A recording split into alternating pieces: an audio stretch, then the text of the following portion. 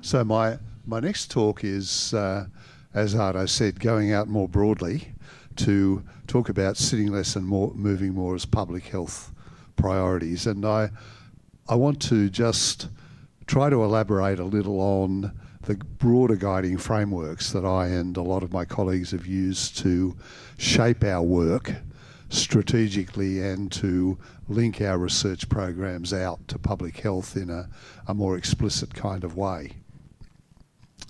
So, what I'll be talking about is uh, just brief comments, I hope. I need to move quickly through an ecological model of health behaviour, what's the background and logic, uh, what are some of the things we've found about the environmental correlates of physical activity because you'll see this environmental theme come through very strongly in my talk.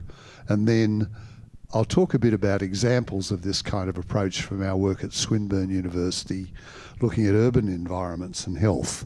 Uh, that's particularly important because these days we're seeing urbanisation all over the world, we're seeing populations moving to cities, and we need to think about the world in which a lot of people are living now and more are going to be living, how can these be thought, thought about in ways that they will be more healthy and active places?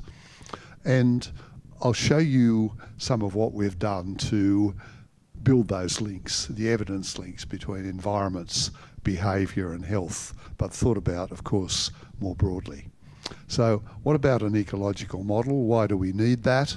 Well, I always like this. This is from Lawrence Gostin, who is a, a regular commentator on social justice and public health, who will pop up in generally the American Medical Association, really interesting places. And he's a really a kind of public health lawyer who thinks through social justice issues in interesting ways.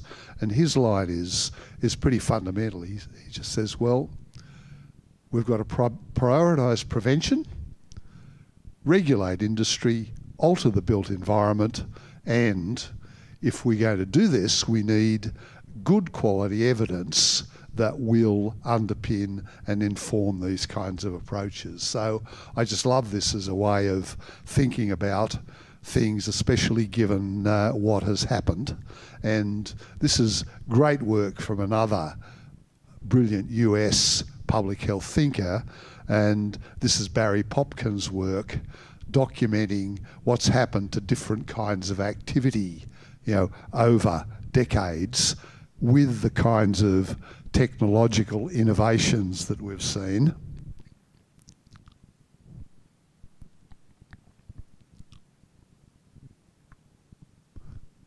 And just if you just stare at that, this line here is their representation of up to just before 2010 sedentary time and what's their projection for that and then what they're suggesting is going to happen to really reduce energy expenditure and of course the socio-political context of this and what might happen in uh, in the USA over the next couple of years is going to be particularly interesting.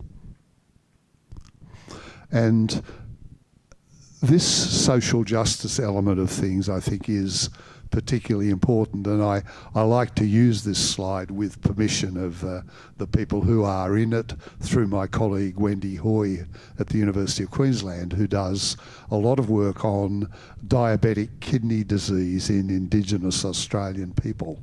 Now, these are people from the Tiwi Islands up in the north of Australia between Australia and New Guinea.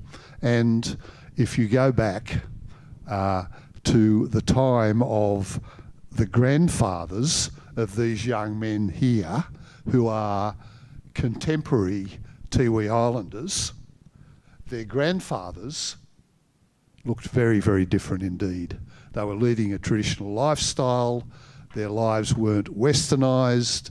They didn't have television. They didn't have poor quality junk food where they got things. They hunted, they gathered, and they were very different biologically and behaviourally to their grandsons who you see there. So that I think is a, a just a very compelling example from Australia of how social disadvantage and, of course, colonisation and you know what has happened over the decades with exploitation of the resources of our country has, has led to for the traditional people who are now you know, among the most socially disadvantaged in our society. So it's very good, I think, to keep.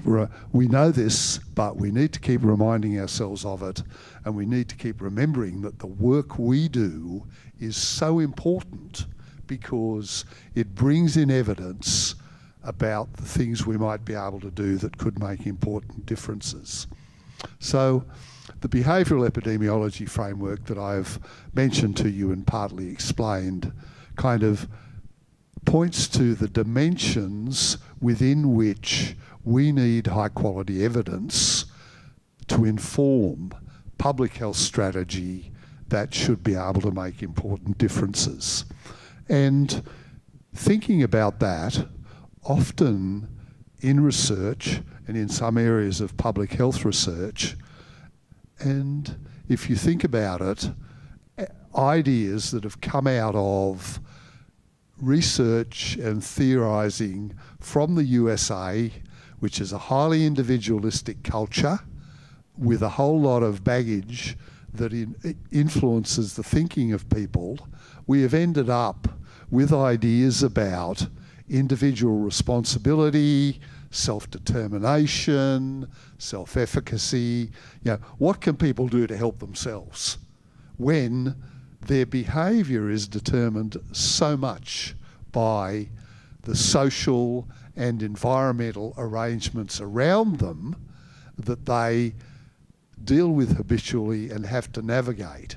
So it's not an issue of individual choice, it's an issue of social justice and looking at the complex determinants of behaviour that, to our, our way of thinking, are fundamentally environmental and social.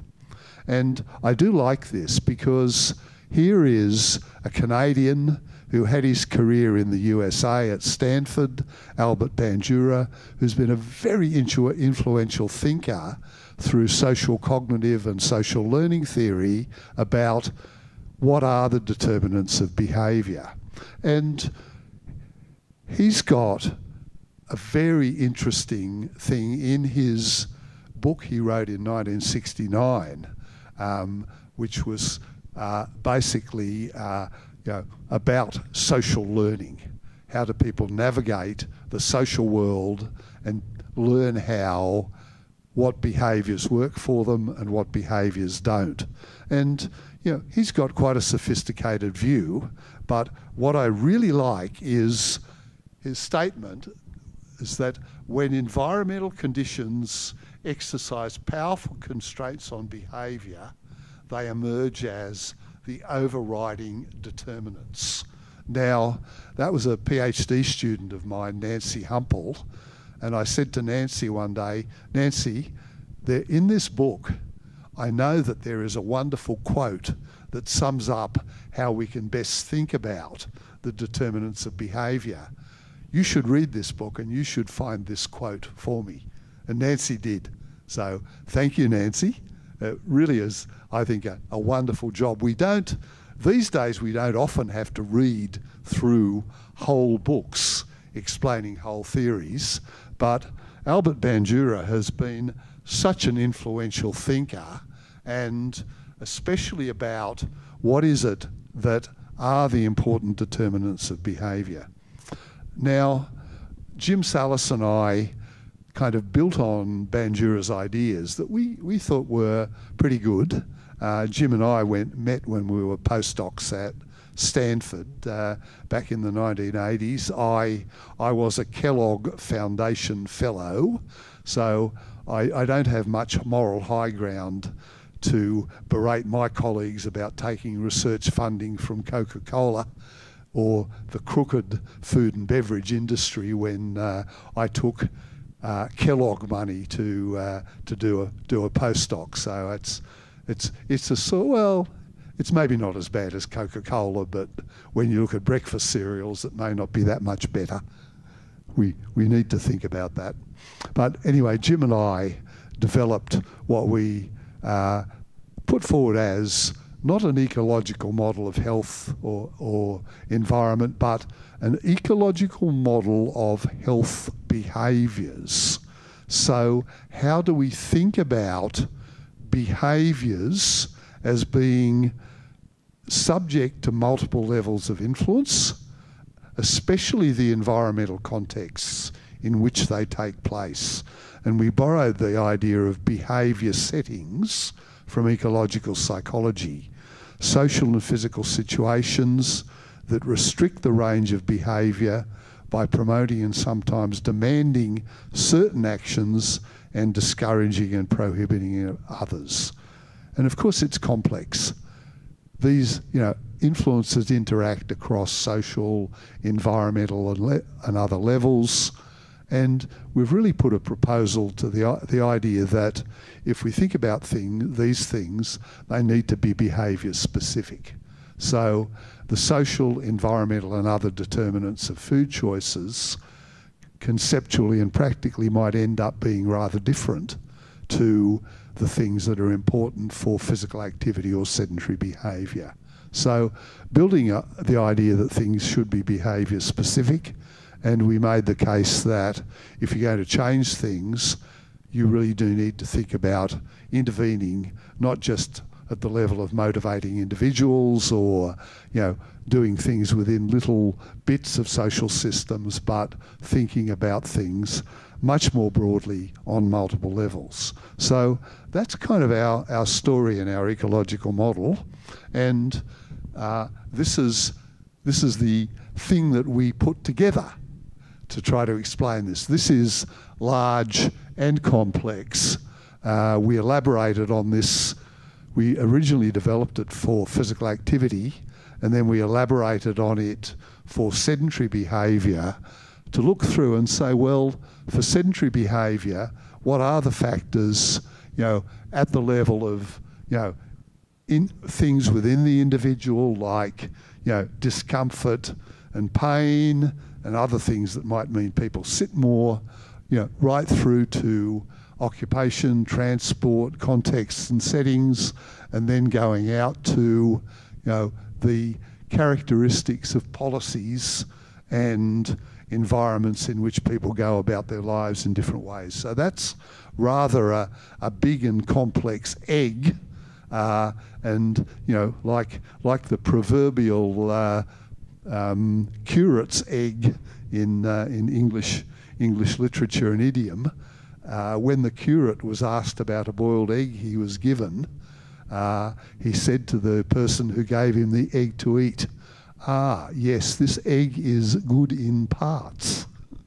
So we hope that our, our egg is good in parts more than it is bad in parts. And of course, a lot of this has not been empirically tested, but it's a, a way of thinking and a style of conceptualizing things that we think is helpful.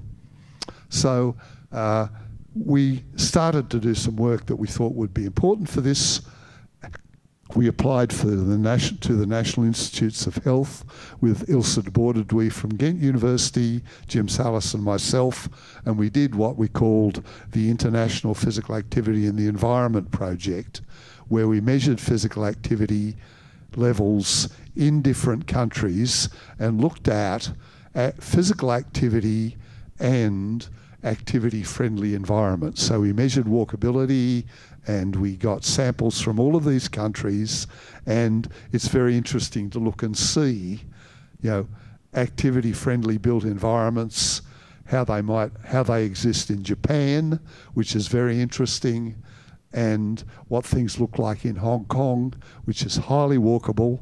You know, it shows a lot of interesting variation in activity and people's physical activity in their daily lives as a function of what the built environments are around them and what they look like, especially around the idea of walkability. And this is just another little infographic that I won't go into in detail, but what it does is it shows uh, some of the differences that we see in people's physical activity and just how much more active people seem to be in New Zealand, in Hong Kong, uh, Czech Republic, compared to the samples we've got from the USA and I think paradoxically in Belgium where we expected people to be a lot more physically active but of course that doesn't include bicycle riding which takes up includes a lot of the activity of, uh, of Belgian people. So that's some of the findings from kind of our original work trying to tease these things apart. Now, here's some work we did at, we've been doing recently at Swinburne University within the Centre for Urban Transitions. And within that centre, we have a Healthy Cities program. And the Healthy Cities program, its goal is to enhance population health through evidence that can inform environmental initiatives and policies. So we're looking at built environments and health outcomes. We're trying to make sense of what urban green spaces might do for people's activity and health uh, and other things that might influence health than activity. Uh, we're using transport surveys a lot and our focus really is on can we get evidence to inform environmental approaches to reduce health inequalities. And this just gives you a, a kind of schematic overview of what our model is. And we're very interested in sedentary travel and car use, physical activity, and do the attributes of the environments in people in which people live, density, mixed land use, connected streets, urban sprawl where people have no choice other than driving, and then access to parks and greenery, how might those attributes influence cardiometabolic health, particularly through physical activity and sedentary time? Now, clearly other things are going on, but that's what we think is important and what we want to do. And uh, we did another one of those clever little text analysis things on our papers to see what are the things that came up as big, strong keywords that occurred frequently and really jumped out of our papers. And that was actually pretty cool because we thought, oh, okay, we are actually doing what we say we're going to do. I was quite delighted with how that image came through. But it is interesting that uh, our most, our focus we really want to build, SES is down there, but socioeconomic comes through quite strongly and then variations. I, I just love staring at those things and thinking about each of the words. And this is our group. Um, our group is led by Professor Takemi Sugiyama, and Takemi and I have worked together for many decades. He originally trained as an engineer and uh, designed turbines for Mitsubishi, then trained as an architect, and then came in to work on environment, behaviour, and health. So Takemi is the leader of this group, and we've got uh, uh, some wonderful people, Suze Mavoa, who's with the Environmental Protection Agency, excellent colleague in Japan, a couple of good PhD students, and a couple of really good research fellows. Yeah, good team, and we work with a lot of different data sets. So uh, we've got AusDiab, which is a great data set, and I talked about that with our original TV time work. We've now got the residential locations of every participant in the AusDiab study, originally 11,000, followed up five years later, 6,000, followed up another five years later, we're down to 4,000. But we've got a wonderful prospective study. We've been able to displace their residential address so we could geocode the small areas in which they live to identify walkability and other attributes and socio-economic attributes. And the Takemi is doing wonderful work with our fellows and students on that. And then we're doing something that I think is really good fun, and that is linking transportation survey data sets with the National Health Survey data and geographic information system data, not at the individual level, but at the area level, the small area level, so we can look at uh, walkability, street connectivity, presence of parks, a whole lot of attributes within a, a small area. We can then look at uh, what are the average or the median waist circumferences of people or other health parameters within those areas and uh, what, what do uh, then the health survey also tell us about their habitual behaviour and their walking. So Manoj Chandrabose, who's a, a really talented guy, is actually doing data linkage at the area level to figure out how these different environmental, social, and health elements connect up and how it can make a difference. Now, some journals we send our work to say, say oh, you've got, you know, this is just an ecological fallacy. You know, it's attributing, you know, things at a, a kind of environmental level to individuals. And we say, well, you know, actually, you're coming back at us from an individualistic fallacy to accuse us of an ecological fallacy. So it's a, a, a style of thinking and working that, uh, that is interesting and good fun. And we work with a lot of good data. So, what have we figured out? Well, here we go. This is our model. Uh, built environment, we believe, is a very important determinant of chronic disease risk. And our hypothesis is that that relationship is significantly mediated through physical activity and sedentary behaviour, and it is moderated by socio-economic gradients, and we can capture all of those attributes and see how they might join up.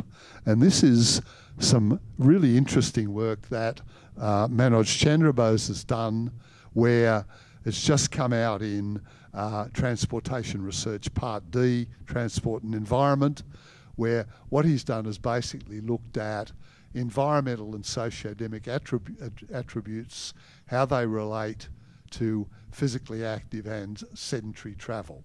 And basically, he's identified urban sprawl, uh, population density, and some variation in socio-demographic attributes as quite important influences how active on how active can, people can be as they move around in their environments with some implications for transportation and planning and public health sectors on how you can do this. Now, Manoj used recursive partitioning, a form of machine learning, to crunch through the data to really to see what was thrown up as important determinants. And even when when we included individual level attributes like SES, education, etc., really in these for these urban dwelling people, environmental attributes really came through quite strongly as important determinants. I mean, there's a lot we could talk about with that to explain it. Here's some other work that uh, Takemi Sugiyama has led, which is, I think, just great. What Takemi has done is looked at the rate of high waist circumference and uh, its relationship to people's transportation choices. So, where you had uh, active transport, whether it was low or high, people were actually uh, had a much lower rate of high waist circumference. So that's kind of, you know, the reference point there.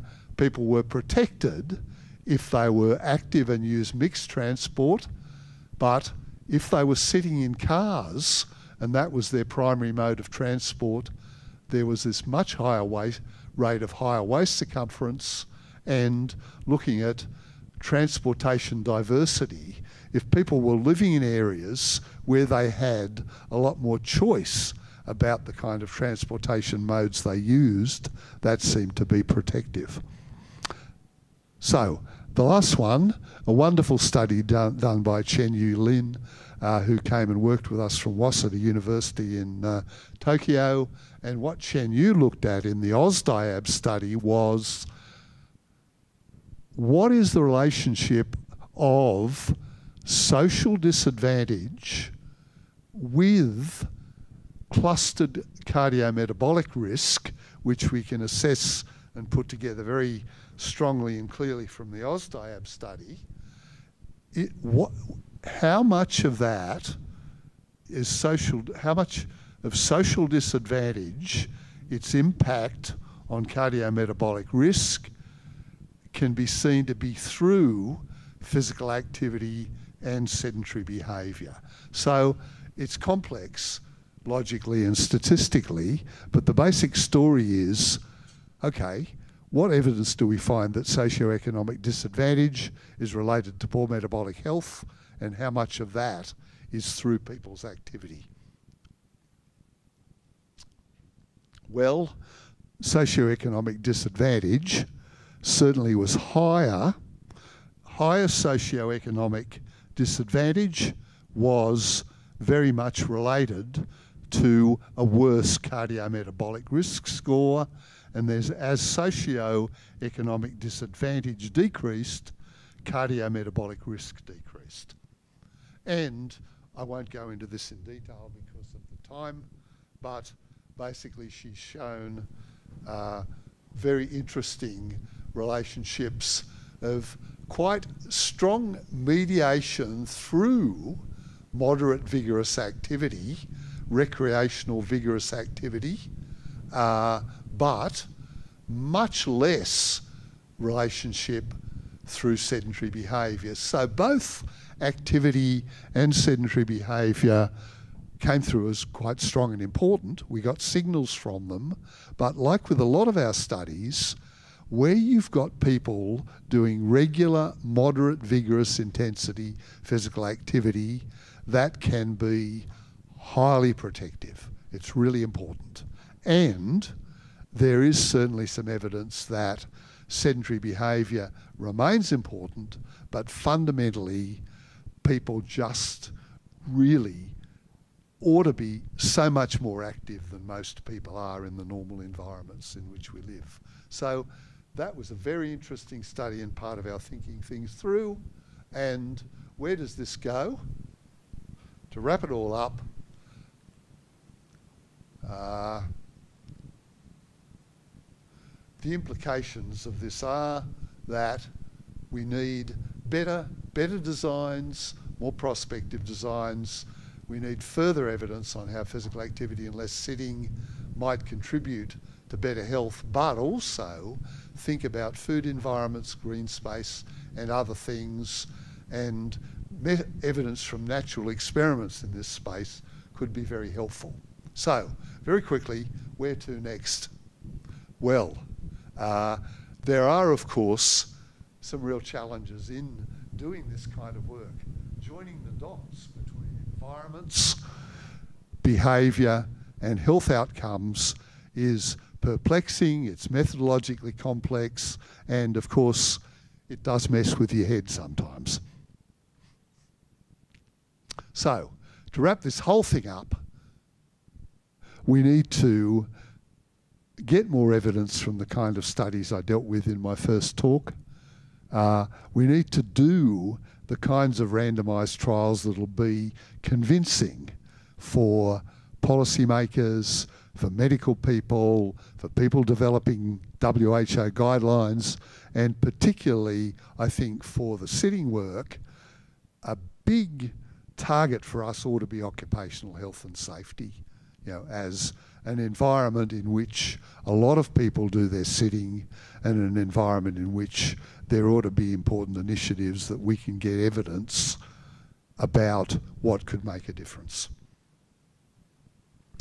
So we need to figure these things out, see what we can change, see what we can do, and then we need to think about how do we take this into the right places where it can make a difference, join the dots in ways that in, will influence policy, and really the overall sense from this picture is, well, it's a complex story for public health, fundamental research that will tease apart what is going on biologically is really important, and doing work that will connect that kind of understanding, especially about physical activity and the time that spend, people spend sitting through looking at car use, urban environments, and the things that ultimately we need better policies and initiatives for to make a difference. We pull all this evidence together. It won't change things, but it will certainly help the people who can change things to potentially make better decisions. Thank you.